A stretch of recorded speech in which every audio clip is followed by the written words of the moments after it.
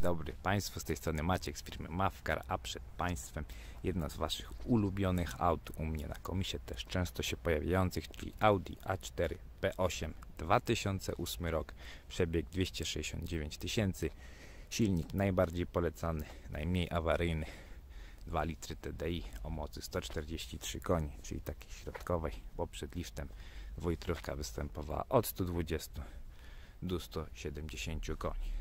Przy okazji trzeba dodać, że jest to najmodniejszy kolor, nawet nie w tym sezonie, tylko od kilku lat.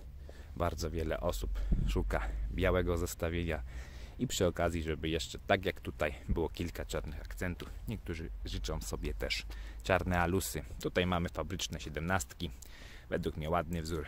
Jak ktoś będzie chciał, zawsze może sobie je przemalować, ale za to jest czarna szyba, jak widać na zdjęciach, oraz czarne relingi. Tutaj właśnie jak jeszcze przechodzę wokół auta, spójrzcie sobie, jest hak, no i takie osłony przeciwśniegowe jak w S-Line. Fajna sprawa. Nie nabija się nam tak śniegu do samochodu. Jeszcze chciałbym Wam dodać, że tutaj ten grill jest z przodu też zmieniony, jak taki jak w wersji RS czy S. Plaster miodu czarny, no i przy okazji fabryczne Bixenony też z czarnym wnętrzem. No i powiem, że idealnie to się zgrywa do tego samochodu. Samochód jest taki ze smakiem, ze, czy jeszcze zewnętrznych. Mamy czujnik deszczu, czujnik zmierzchu, czyli wszystko takie, co naprawdę nam ułatwia jazdę i się przydaje, bo dużo aut nowych ma jakieś tam bariery, które tak naprawdę nie są wykorzystywane często przez osoby użytkujące te pojazdy. No i kolejna sprawa, auto technicznie bez zarzutu, przegląd miał robiony w marcu tego roku, klocki tarcze, wszystko jak najbardziej ok. Rozrząd też był wymieniany, więc myślę, że nie potrzeba na starcie w niego inwestować. I nagrajmy sobie na początku wnętrze, ponieważ auto jeszcze dosycha, bo jaką mamy teraz temperaturę i pogodę, trwa to troszeczkę dłużej. Tutaj pierwsze wpisy, wszystko jest w Audi do 120 tysięcy. Dalej mamy potem jeszcze jakiś serwis nieautoryzowany 176 i 180 mamy tutaj wymianę paska rozrządu z pompą wody. Te auta, jak niewiele osób wie, pierwszą fabryczną wymianę mają na 180 tysięcy, a potem w nowszych silnikach nawet podnieśli ten wymianę tego paska na 210. To jest naprawdę, powiem Wam, bardzo żywotny. Jeżeli pierwszy właściwie taki trafi, no to praktycznie może nawet takie auto sprzedać bez wymiany paska. No i myślę, że następny może spokojnie zrobić te 150-160 tysięcy na takim pasku, bo ja powiem Wam, nie, nie zdarzyło mi się jeszcze, by trafił się taki samochód którym musiałbym ten rozrząd wymienić, bo chociażby hałasował, nie przy 160 czy na późniejszej wymianie. To są ostatnie wpisy, jakie mam w książce serwisowej. A tutaj mam na potwierdzenie dla Was jeszcze kilka przeglądów. To jest ostatni. Spójrzcie sobie z marca tego roku. Miała 261 tysięcy kilometrów. Teraz ma 269. To że jeszcze jest ich kilka.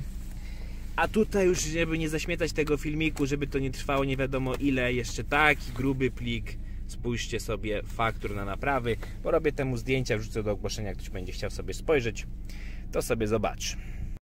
Tutaj mamy cztery elektryczne szyby elektryczne i podgrzewane lusterka. Dalej ta listwa taka chromowana. Przy okazji ten też taki pakiet, ja go nazywam chrom, czyli tu mamy obwódkę wokół przycisku, czy tam pokrętło od zmiany świateł, regulacji, tak samo też inną gałkę. No i tutaj takie chromy wokół sterowania kierownicy. Też chyba ręcznego, ale ręczny chyba każdy ma srebrny.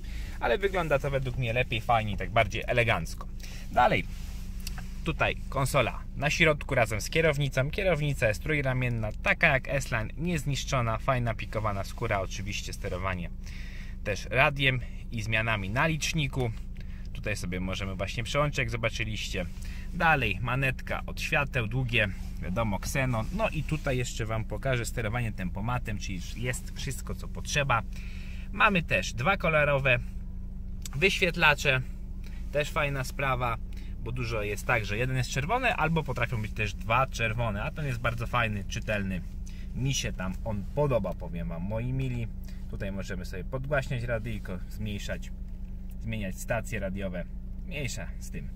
Dalej, pewnie jak wszyscy tutaj widzą, pali się zielona kontrolka od hamulca ręcznego. Jest to funkcja auto hold, załączona tym oto przyciskiem.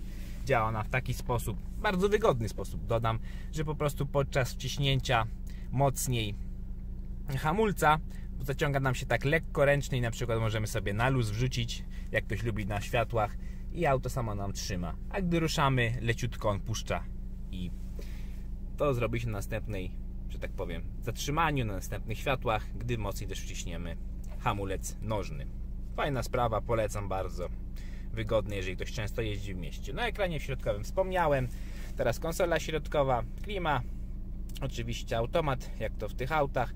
Radio troszeczkę bardziej rozbudowane, bo mamy wejście na kartę SD oraz też AUXa, bo nie wszystkie tutaj wozy tu mają.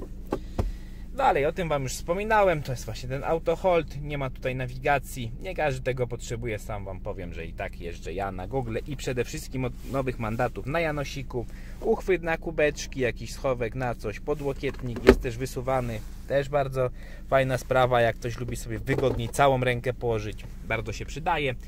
Dalej konsola środkowa, deska przechodzi w te listwy, no i mamy jeszcze tutaj sportowe fotele, taka ala to jest welur, to taki troszeczkę meszek. Spotykany był też w B7. Z tyłu normalne fotele, podłokietnik i przede wszystkim dla wielu osób bardzo ważne, jak pewnie widzicie na środku ekranu, ISO Fix. Czy coś jeszcze? Chyba z wnętrza to tyle. Mogę Wam pokazać jeszcze mój boczek. Wiadomo, jakieś minimalne niteczki wychodzą, no ale auto ma 270 tysięcy i fotele kubełkowe, więc jest to akceptowalne. Pokażę Wam jeszcze jak wyłącza się auto hold. Jeżeli puścimy, rozepniemy pasy, to ten auto hold przełączy nam się po prostu na hamulec ręczny, żeby nam auto się nie stoczyło, gdzie po prostu ktoś może chciałby wyjść podczas tego auto holdu. No chyba na tyle. Coś mogę Wam dodać, że jeszcze auto bardzo szybko się nagrzewa. Chyba ma to dodatkowe ogrzewanie, takie, które jest przez, yy, przez idzie też przez spaliny bo dosłownie wyjedziecie, nie wiem, 5-10 metrów i leci ciepłe powietrze, więc to jest bardzo fajna sprawa. Tutaj też możecie sobie zobaczyć, jak wygląda zmiana regulacji temperatury. Ładnie to Audi wymyśliło, potem zrezygnowali z tych ilości, też chyba tych, musi się rozświetlić, tych napędów, bo potem chyba robili tylko 8, bo tak naprawdę 12 regulacji nie ma większego sensu. Cóż, to aucie tyle. Zapraszam Was do polubienia mojej strony na Instagramie Mawkarauta, zajrzenie na też otomoto, mawkarotomoto.pl oraz autoplat Janosik, bo tam też rzucam czasami ogłoszenia, które mi się nie mieszczą. Gdzieś na innych portalach. No i przede wszystkim do zasubskrybowania kanału na YouTubie oraz zostawienia lajka temu filmowi, bo będzie się pojawiało dużo aut. Często też mogą się pojawiać przez wcześniej niż przed rzuceniem na Otomoto i możecie trafić coś fajnego w fajnej cenie przed innymi. No i pamiętajcie, że każde auto jest u mnie opłacone, możecie dokupić gwarancję do roku czasu i jeżeli jak nie macie tego auta sobie dostarczyć do domu, mogę w rozsądnych pieniądzach je zawieźć na lawetę lub też dla Was zarejestrować. Pozdrawiam, hej!